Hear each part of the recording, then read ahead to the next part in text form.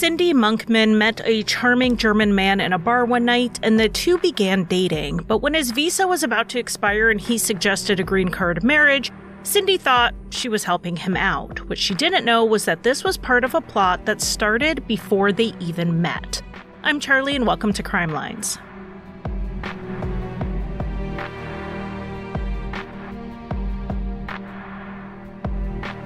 Welcome to Crime Lines. We are in December. I can hardly believe it. I do want to send a quick shout out to my good friend Haley Gray, who researched this episode.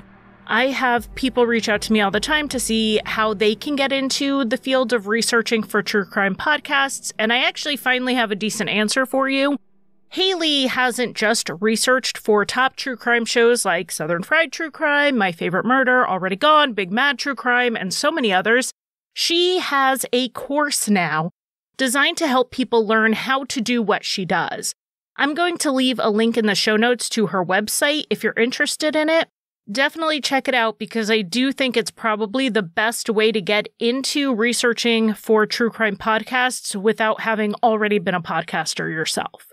But for now, let's go ahead and get into today's case, and it starts with Cynthia Estelle Monkman, who was born in Pensacola, Florida in 1958. Cindy did not stay an only child for long, though. Her sister Kathy came less than a year and a half later, and then about two years after that, their brother John Jr. was born. The family moved to the Chicago area where their mother Dorothy was from in 1965. Within months of moving there, the family suffered a major loss when Dorothy died of cancer at the age of 36 leaving behind three children who were only seven, five, and three at the time. Now, I'm not saying that I fully buy into birth order theory, but if you look up the traits of a firstborn child, you'll read a description of Cindy, and probably even more so after her mother's death. She was outgoing and driven, described as a natural leader who was full of energy. She attended Illinois State University for her undergrad, studying nutrition, and then got her master's in community health from Western Illinois University. In the early 1980s, Cindy's younger sister Kathy moved to Arizona to attend nursing school, and Cindy decided to move there with her, quickly finding work as a nutrition counselor while waiting tables for extra income. The sisters were young and on their own, so they loved to go out, even taking trips together. Cindy started dating a man named Mark, and she was left crushed when their relationship ended. So she was still pretty raw and vulnerable in October of 1988 when she met Michael Apelt. Now, I imagine his first name is really pronounced the German way since he was from Germany and all, but every report I can find says Michael. So it is possible he switched to the anglicized version when he came to the US, which is not uncommon, and I'm going to go ahead and use that because does anyone really want to hear my poorly pronounced German CH combination for the next hour? I don't think so. Anyway, back on track. Cindy met Michael through her friend Annette, who had met both Michael and his brother Rudy at a bar in Mesa, Arizona in early October 1988. The two brothers were dressed sharply, which got Annette's attention, as did their accents. Michael and Rudy had just moved to the US from Germany that year, and Michael did most of the talking because Rudy's English skills were pretty basic. Michael said that he worked in IT for a Fortune 500 company, and Rudy was in banking. Annette talked to them for a bit and then gave Rudy her phone number, which he made use of two days later. He asked if she wanted to go out that night with him and Michael, so Annette invited Cindy and Kathy to go with her.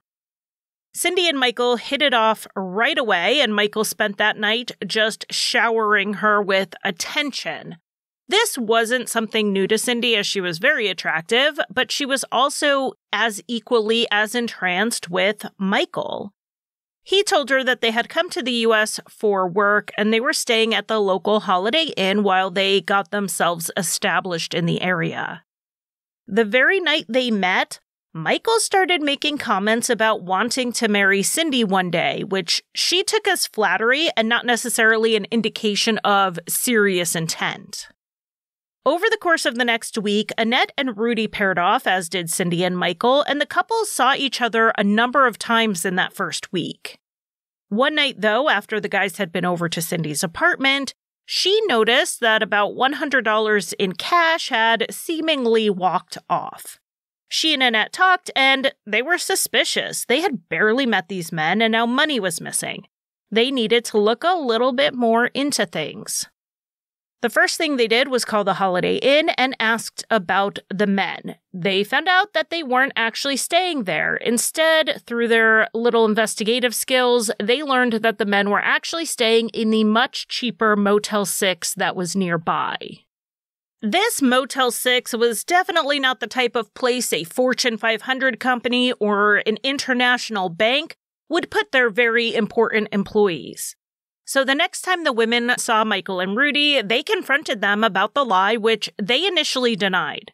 They said they were definitely staying at the Holiday Inn and there must have been some confusion with the front desk. They even had Annette and Cindy drop them off at the Holiday Inn at the end of the night. Knowing the men were probably lying, the women then drove to the Motel 6 and got their room number. They knocked on the door and a woman answered. She was Anka Dorn, who Michael and Rudy would tell the women was the wife of a friend who was in the hospital. They were just letting her stay with them in the meantime. Now, the truth was that she was Michael's ex girlfriend who had traveled with them from Germany. And I say ex girlfriend, but the ex part is debatable. Michael and Rudy also managed to convince Annette and Cindy that the deception about where they were staying was actually part of their work. Due to their security clearance, they were not allowed to disclose their actual location. But thanks to Annette and Cindy finding out, they actually got fired. This meant their work visas would expire very soon if they didn't find new jobs. And without the visas, they would have to leave the country. Cindy and Annette took the men at their word and felt awful about what happened.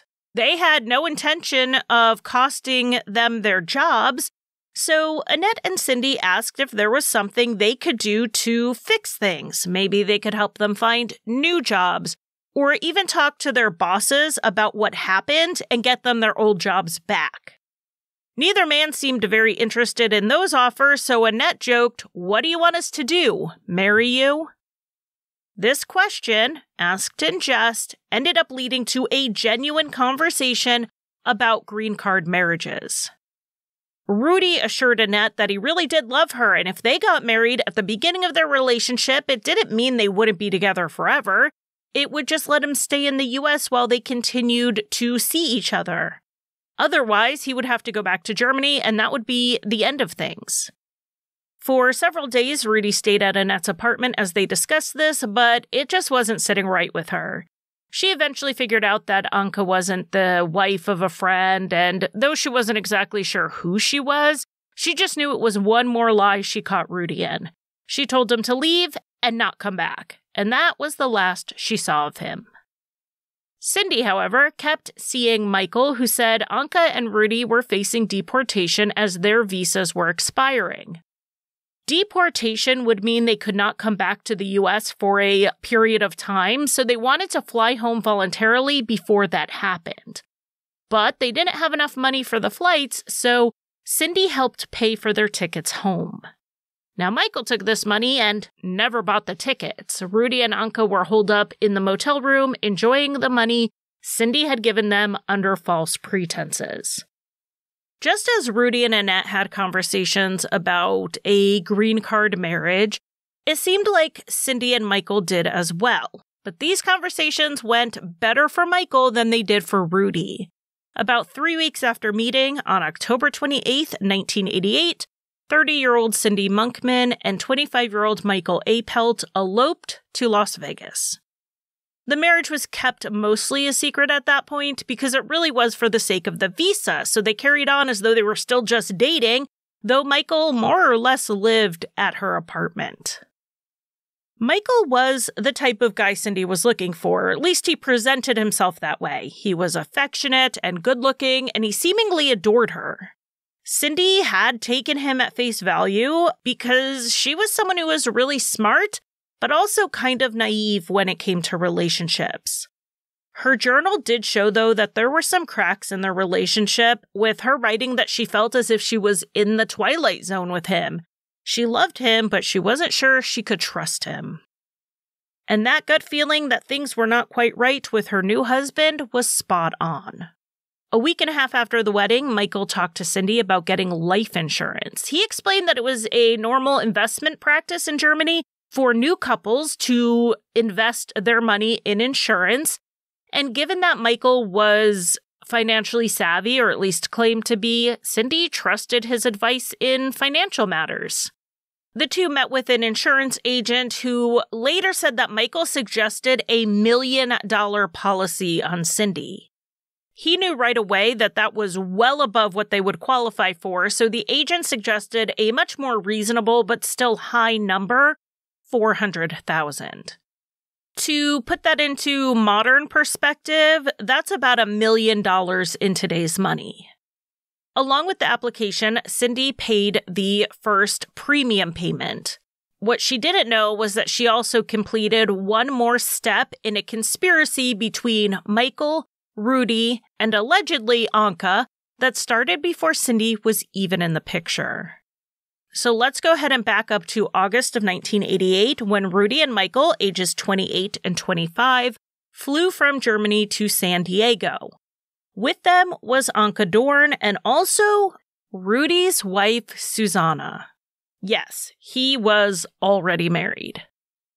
While the brothers were out at a club one night, they met two women, Cheryl and Trudy, who were in San Diego for a party. They gave Rudy and Michael their numbers and also their addresses in Phoenix, Arizona, which is where they lived. Rudy and Michael called the women and made arrangements to come to Phoenix to visit about two weeks after they met. Cheryl picked them up at the airport and brought them to the Holiday Inn where they said they were going to stay, and instead they walked over to the Motel 6. They spent a few weeks in Phoenix before they went back to San Diego to get Anka. Rudy's wife wisely opted to return to Germany. The plan was for the brothers to wine and dine the women, getting whatever money they could get out of them. Cheryl and Trudy were two marks, though their connection didn't last long. The brothers soon moved on to meet other women, faking being rich, usually thanks to the money and gifts from previous girlfriends, and then they'd move on again just as quickly. They carried this out for a couple of months before they met Annette and Cindy. It turned out Cindy was the third or fourth woman Michael had started talking marriage to. But she was the only one who said yes. The idea of these short term con jobs turned into a longer term plan to marry for money. The way to get the big payout would be to get life insurance on the new wife and then kill her, but they had to wait for the policy to be active. So, for the next month or so, Michael, Rudy, and Anka took advantage of the joint marital funds that Cindy provided. The three put down payments on three expensive watches, and they also signed contracts to buy four cars. They told the dealer that they were waiting on money to come from Germany, but the truth was it was coming from the $400,000 life insurance policy that Michael planned on collecting. But there was a wrench thrown in the plan when their insurance agent called in late November. They had been denied the $400,000 policy. They were only able to get a $100,000 one. That wouldn't be enough to cover the money that Michael already spent, but the agent said they could apply for a $300,000 policy from another company that would possibly make up the shortfall. They decided to go ahead and applied for that, so that meant Cindy's life would be spared for a few more weeks while they waited on that policy to be active. And assuming that policy would come through as quickly as the first one did, Rudy and Anka reserved a rental car for December 9th, with Rudy specifically asking for a larger car so that they would have enough trunk space. I'm sure the rental clerk assumed it was for luggage. The life insurance agent called Cindy and Michael and said there was a delay in the policy being issued because they needed some more information. Cindy sent that information over, but this meant that the murder had to be delayed, so Rudy canceled that rental car reservation. Cindy and Michael then went to a party on December 11th, at which time they announced to everyone that they had gotten married. Well, I'm sure a few managed a sincere enough congratulations to them, to say that everyone was shocked would be an understatement. They thought Michael was a boyfriend of two months, not a husband. Cindy's sister Kathy was particularly hurt and upset. And that's in part because it seemed like Michael had been trying to put a wedge between the two anyway, and this was just one more wedge between them. I have to assume that Michael was worried Kathy would be the voice of reason for Cindy and interfere with his plans. At one point, he had even taken to listening in on their conversations so they would switch to speaking Spanish so that he couldn't understand them. If given more time, I think Kathy likely would have gotten through to Cindy to end this sham marriage. But they didn't have that time. On December 22nd, Michael got the call he was waiting for. The second policy, the one for $300,000, had been approved.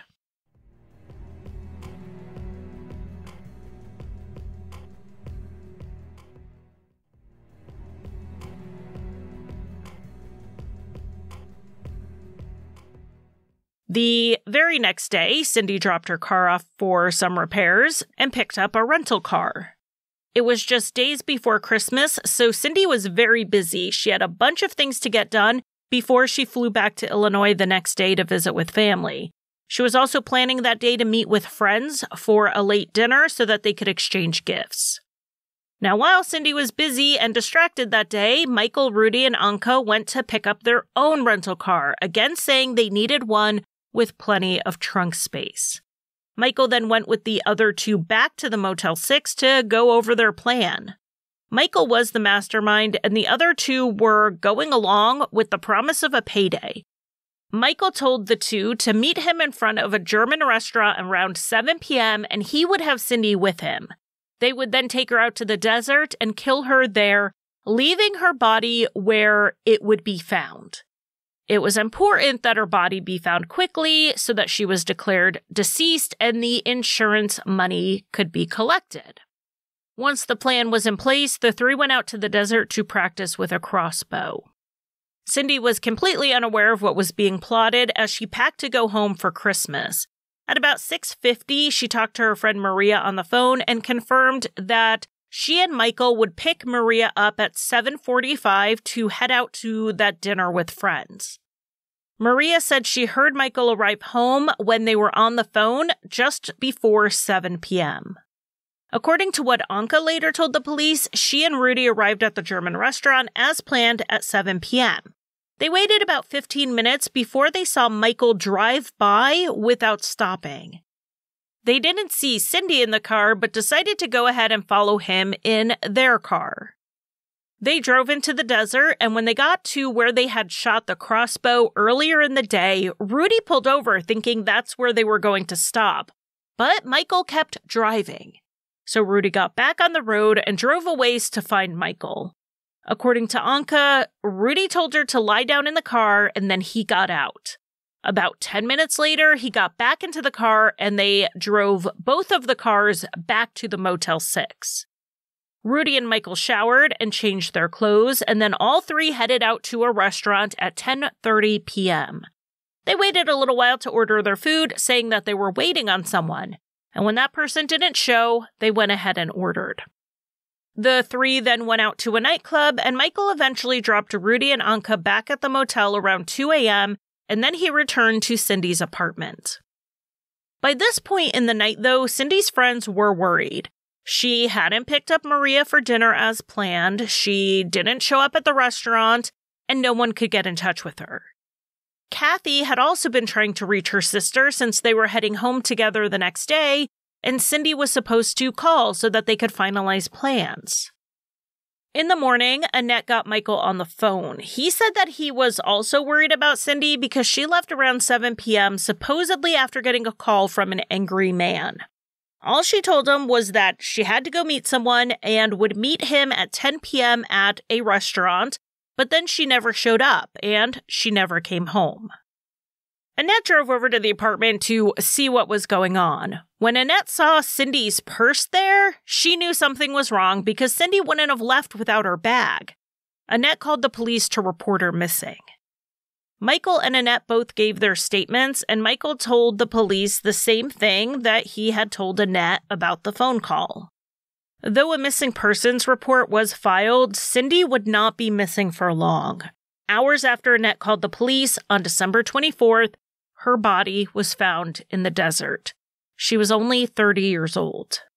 Cindy had been beaten, stabbed, and her throat had been slashed. Near her body was a length of nylon cord and a blood soaked beach towel. A search of the scene showed tire tracks near her body as well as a shoe impression. The shoe impression wasn't just on the ground. On Cindy's face was a partial shoe print as though her killer or killers had kicked or stomped her after she was on the ground. Because of the unique pattern of the shoe, they were able to narrow it down to a specific type of Reeboks. Michael, being the husband, was of course being looked at from the start. He was asked about his shoes and he denied that he owned sneakers at all. And as for his alibi, he was with Rudy and Anka the whole time. The police questioned both of them and they backed up Michael's story, saying that they arrived at the apartment around 7 just as Cindy was leaving. She told them she would meet up with them later, but then never arrived. And the server at the restaurant was able to confirm the time that the three came in and said that they waited to order because they were waiting on someone who never showed. Cindy's body was ready to be released after the autopsy while the investigation continued. Cindy's family wanted her to be brought back to Illinois to be buried where her mother was, but Michael initially refused. He said he wanted to have her body buried in Arizona near him so that he could visit her grave. Mind you, he had no ties to Arizona other than Cindy, but he was insistent. Though Michael was a suspect in the murder, they didn't have the evidence needed to block him from making decisions like this as her next of kin. However, after speaking with her family and making a few negotiations, Michael finally agreed to allow her family to bury her. His conditions included that Cindy be buried in her wedding dress and be buried with a photograph of Michael. Now, the absolute gall of him to insist on these things, I imagine it was all part of his act so he would be seen as the grief stricken, loving widower but it just makes me sick that he had any demands of the family, let alone his picture being buried with her, knowing what we know. On New Year's Eve, Michael, Rudy, and Anka all flew to Illinois for the funeral using funds he had gotten through a loan. Now, it was pretty easy for him to borrow this money since Michael had proof that he was coming into a considerable amount of money from these insurance policies. Michael openly cried at the funeral, though he didn't speak to anyone, with Rudy making excuses for him. He was simply too overcome with grief. But Kathy, Cindy's sister, caught Michael when he thought no one was watching. He was driving away from the funeral with his brother and Anka, and he was laughing. The night of the funeral, the three went out to a nightclub, and according to what Anka later told the police, Michael confessed to her that he was the one who actually killed Cindy, while Rudy just stood there. He followed that up by saying that Cindy signed her death warrant when she signed the application for life insurance, but then he started crying, saying that he actually regretted killing her, that no amount of money was worth the guilt he felt. But it was clearly worth trying to get away with it. The three flew back to Phoenix, and then on January 3rd, 1989, they got back on another flight, and this time they went to Los Angeles. They offered a man on the street $20 to call Cindy's number and leave a message. The message he left basically confessed to killing Cindy, and he threatened to kill Michael's girlfriend, his brother, and then Michael if he doesn't get his quote stuff. The call ended with the quote, Do it now. If not, see what happens. My eyes are everywhere.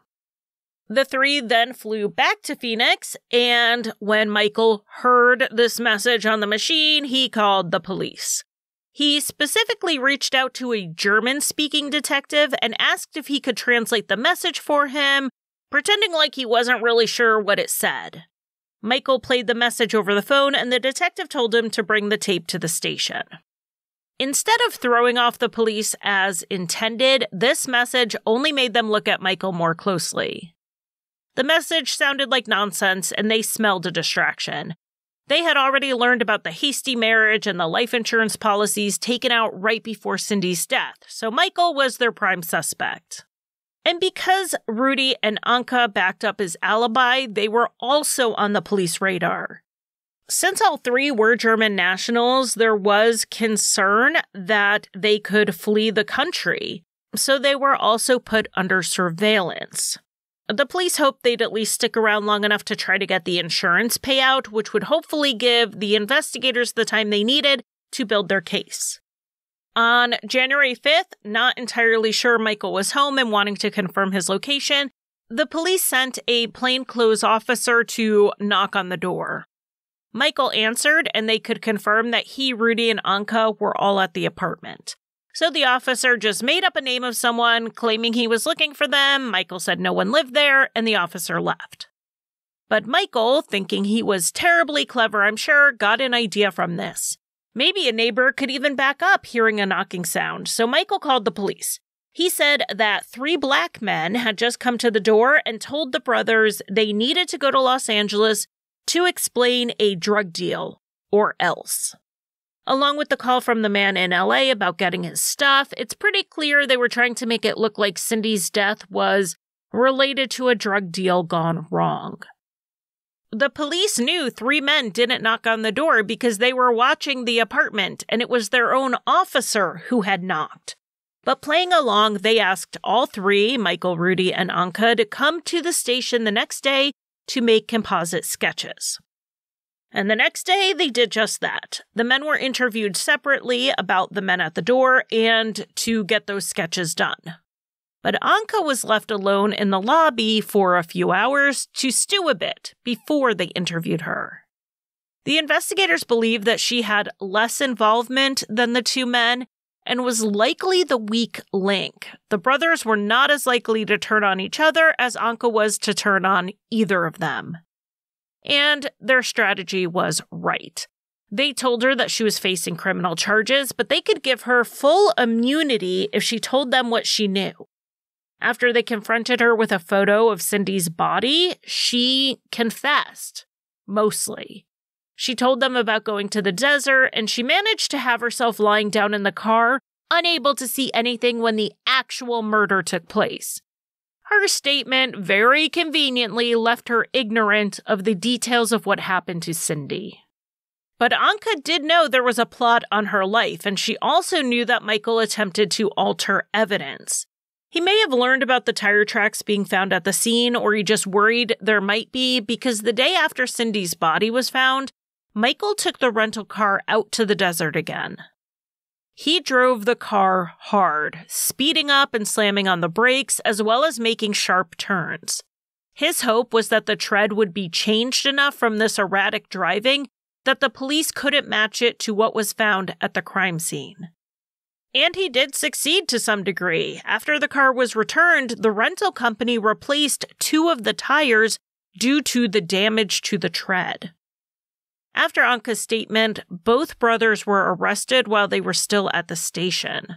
The police had beat the clock. They managed to get enough probable cause to hold them before the insurance payout and or the trio fled back to Germany. After the arrest, they also got a search warrant for the apartment. They didn't find the Reebok shoes they were hoping to find, but they did find rolls of film that, when developed, showed Michael wearing a pair of those Reeboks with a tread like the prints at the crime scene. While the brothers were in pretrial detention, Michael wrote letters to Rudy. The letters were translated into English by the police, and in one letter, Michael told Rudy they would be out in two weeks. Basically, he knew another inmate who was getting out in a few days and had agreed to commit a similar murder. Once a woman was killed in the same way and under the same circumstances as Cindy, but while the brothers were locked up, they would have to be released. He wrote that they would be free and they could collect the insurance money. The police wouldn't be able to do anything about it. So, Michael was the brains behind this plot, but clearly he had some gaps in his understanding of how things worked. Writing a letter from jail to your suspected co conspirator, who is also in jail, about your plot to have another person murdered isn't exactly going to exonerate you. But before we get to the legal proceedings, I want to back up and get into who these brothers were and what circumstances led them to become killers as adults. This isn't really a great one to debate nature versus nurture because clearly lack of nurture played a significant role here. Now, these cases are always difficult in some ways, as people don't always want to hear what the killers went through. But I do want to say that we can both feel badly for what happened to Rudy and Michael without excusing, even for a second, what they did to Cindy. We can hold both of those things at the same time. A lot of people go through a lot of terrible things and never hurt anyone, but it is important in what comes next to understand their full backstory. The state was going for the death penalty, and in the death penalty, mitigating factors matter. So, Rudy and Michael, along with their siblings, grew up under awful conditions. Their father had been a Nazi who turned into an abusive alcoholic and treated his wife and children horribly. Michael was a particular target as he was the youngest of the seven children. After baby number six, his mother went to the doctor to be sterilized. Her abusive husband rarely worked and she could barely feed the children they had. But the procedure didn't work and Michael was born. Michael bore the brunt of his parents' neglect and abuse as he was the unwanted child, and that's how they referred to him to his face. They called him the unwanted one. But that doesn't mean that the other children were spared, particularly the daughters who were also sexually abused. The children in the family would be regularly medicated with sleeping pills so their parents wouldn't have to deal with them, and if that didn't work, they'd be physically tied up. Michael's first documented attempt at suicide came at the age of seven. He had been sexually assaulted by an older man. It wasn't the sexual assault that drove him to that level of despair. It was his fear of his father finding out and what his father would do to him. The second attempt was at 13 after another sexual assault. After the second attempt, it was recommended that Michael be placed in an institution as he was deemed severely mentally disturbed. He wasn't institutionalized, but he was attending a school for those with learning disabilities. His IQ was around 88 as assessed at the age of 9, which isn't super low and wouldn't have normally had him sent to a special school. But with his emotional problems, a regular school couldn't meet his needs. Like his siblings before him, though, he left school around grade 9. It was a demand of his father, who didn't work regularly, that his children leave school and enter the workforce to support him when they turned 14. Rudy had also attended a special education school, but he had been sent there early on. He had been hit by a truck when he was younger and it caused a severe brain injury. His IQ was estimated to be around 65, which is low. Even when Rudy signed up to do his mandatory military service, he was soon discharged due to his low intelligence. Michael continued to have issues with his mental health, seeking inpatient treatment in 1985 and 1986. At one point, he was married for a few years, but that ended in divorce. And then in 1988, the brothers traveled to the United States to start conning women, though it's unclear exactly why they went to the US. It is possible that it was because both brothers had criminal histories in Germany for things like fraud, theft, and burglary. Rudy had even spent five years in prison for a rape conviction, and he was wanted for other crimes in Germany when they went to the US. They may have been trying a new country because they were getting caught too often in the old one. But it didn't last long in the United States either. It was only five months after their arrival that they were both in custody for premeditated murder. And like I said, the state was seeking the death penalty in both cases. Michael was going to trial first in mid April 1990. The prosecution's theory of the crime was that the attack on Cindy began at the apartment after she got off the phone with Maria. While still in the apartment, Michael managed to subdue Cindy enough that he could bind her with that cord that was found near her body and possibly even the towel. He put her in the trunk or possibly the floor of the car, and that's why Anka didn't see her when Michael drove by the restaurant they were meeting at. Once in the desert, Michael finished killing Cindy and left her where she was found. Anka was obviously, at this trial, the star witness. Another major witness was a detective who went to Germany to investigate the background of the brothers. Once there, he learned a lot. Of course, Michael's criminal record was uncovered, and also his ex wife had a lot to say, like how he once attacked another man with a knife she also said he would do anything for money, including asking her to donate a kidney for payment. The defense was that Michael didn't kill Cindy and that he didn't even have a motive. The larger insurance policy wasn't fully in effect yet because it had barely been approved. So, if that was his motive, wouldn't it make sense that he made sure he would get the money before he killed somebody? Beyond that, they argued Michael had an alibi witness who took the stand. This witness was a server at a restaurant in Mesa who testified that she served Michael shortly before 8 o'clock and then again a few hours later. If Anka was telling the truth, this wouldn't have fit in the timeline, but the state said that it wasn't necessarily true. Just because Michael had a drink shortly before 8 didn't mean he was there long. He could have popped in, had a quick drink to set up an alibi, and then left again before coming back later. Or the server could have been mistaken. No solid evidence, like a receipt, was ever found to put him there around 8. Michael decided to take the stand in his own defense, and he got up there repeating the same story he told Annette and he told the police. He said Cindy got a strange call that evening that made her really nervous. She started chain smoking and told him about the call as he got out of the shower. She said she had to go meet someone to straighten out a problem. Michael said he did ask for more details, like who the person was who she was meeting with, but Cindy wouldn't tell him. He said that he was her husband now and that her problems were his problems, but Cindy insisted that she would just explain it when she got home, except she never came home. Michael told the jury that he didn't know what happened to Cindy until the police told him they found her body, at which time he became hysterical and fell into a deep depression.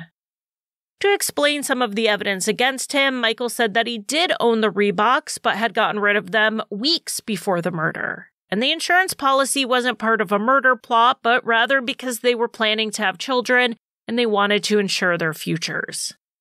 As for Anka, he said she was just a scorned woman. She was the one who wanted to marry Michael, but he had fallen in love with Cindy instead.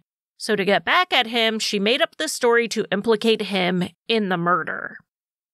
The jury didn't buy it. After six and a half hours of deliberation, Michael was found guilty of premeditated first degree murder and conspiracy to commit first degree murder. At sentencing, Michael claimed he was innocent and he loved Cindy, but he was still sentenced to death. The day after Michael was sentenced, Rudy's trial began in mid August 1990. In this case, the state's position was that Rudy helped plan the murder and that he helped kill Cindy. Even if Michael was the driving force behind the murder, Rudy was just as involved every step of the way. Again, Anka was the star witness, giving consistent testimony to what she had said in Michael's trial. She did say that Michael told her he killed Cindy himself and that Rudy just stood around. Now, Rudy's defense was to throw Michael all the way under the bus. They were saying that Cindy was already dead when Rudy got to the murder scene. They called a forensic pathologist to the stand to explain that Cindy's injuries were more consistent with a single attacker. But this expert did backfire a little bit because he also said the killer was likely right handed. The issue here is that Michael was left handed, Rudy was the one who was right handed. The state had a rebuttal witness who testified that it was inconclusive if there was one killer or two killers or even more. Though only one person stabbed her, it was possible that someone else held her down during the attack. The defense did call a psychiatrist to testify that Rudy had a pattern of doing whatever Michael said with little thought. it was at that point in his life almost automatic for him, and it stemmed from his childhood abuse. Rudy would be severely beaten whenever he failed to keep Michael quiet and out of his father's way. So Rudy learned to do whatever Michael wanted because he was conditioned to prioritize making Michael happy and quiet for his own well being. On August 29, 1990, the jury decided that Rudy was more involved than he said. They deliberated for two hours before finding him guilty of premeditated first degree murder and conspiracy to commit first degree murder. At sentencing, Rudy cried and insisted he thought Michael was joking when he said he was going to kill Cindy. He said he wished he believed Michael and talked him out of it, but he continued to claim that Cindy was dead when he got to the desert. He was not believed and was also sentenced to death. And with two death sentences in place, we have two sets of appeals. In 2006, both tried to get their sentences overturned due to their low IQs as they were not brought up during their sentencing phase. No one with an IQ under 70 can be put to death, so both were put under examination by psychologists hired by their appellate attorneys. The state was also allowed to have them assessed by their psychologists. Both men tested with IQs under 65. A hearing was held in 2009 about this. In Michael's case, they also had an IQ score from when he was nine years old that showed he had a low average intelligence, and it was definitely not under 65. His side argued that they never would have sent him to a special education school if he actually functioned with an IQ as high as 88, indicating that it was actually probably lower than originally scored. But another expert testified that they suspected Michael was malingering during the intelligence tests in prison and purposely scored low in order to get off death row. They pointed out that Michael had the ability to complete a year of military service, he lived independently, he held down jobs, and he even learned conversational English while the brothers were in the US. So his death sentence was upheld. Rudy, however, had a longer documented history of having a low IQ. It began in childhood with that documented head injury and continued through his time in special education, his early dismissal from military service, and his inability to live independently. He had always lived with his parents, other family members, including Michael or his wife. Rudy's death sentence was overturned, and he was resentenced to life with parole eligibility after 25 years. In 2015, Michael saw some hope of post conviction relief when he argued that his dysfunctional childhood should have been presented during his sentencing hearing as a mitigating factor. A district judge agreed, but that ruling was then overturned by the Ninth Circuit Court. I think a major issue for Michael was that his defense at trial and during the sentencing phase was pretty simple. He didn't do it. That was his strategy. If his defense had conceded he was guilty at sentencing and then failed to present mitigating factors, he likely would have had more success with this appeal. But how convincing is it to say, I didn't do it, but if I did, here's why? The repeated appeals and Rudy eventually becoming eligible for parole put such a burden on Cindy's family. Her sister Kathy told journalist Kevin Regan that she almost wished that they would have just given Michael life without parole just to put an end to the appeals and to let the family just put the Apelt brothers in the past. The burden of the parole process did end for the family in April of 2022 when Rudy Apelt died in prison of natural causes. Michael Apelt remains on death row along with about a hundred other inmates. Arizona had halted executions after a botched attempt in 2014 when it took Joseph Woods two hours to die after being injected with the drugs. During those hours, he reportedly gasped for air most of the time. Arizona started looking for alternatives to the drug cocktail that caused this issue, and they even considered going back to the gas chamber. But in May of 2022, they started carrying out lethal injections again using pentobarbital. Three men were executed in 2022, and then an anti death penalty governor was elected, and no further executions have occurred since then. Michael has exhausted all of his appeals, and should execution start in Arizona again, he will be about one of 20 or so inmates to probably have a date scheduled. I hope that with Michael's appeals exhausted and Rudy's death, that Cindy Monkman's family can finally have a rest.